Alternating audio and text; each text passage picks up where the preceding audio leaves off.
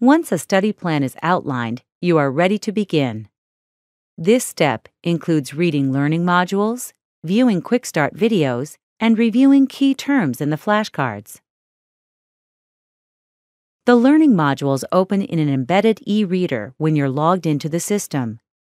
Navigate the content by using the table of contents, bookmarks, and page navigation buttons. For on the go access, the modules can be downloaded onto your device for reading offline. While all the content is included in the online program, you can choose to purchase printed versions of the learning modules as reference materials for an additional fee. The Quick Start videos are high level overviews of each of the behavioral competencies. They will increase your understanding of the competencies.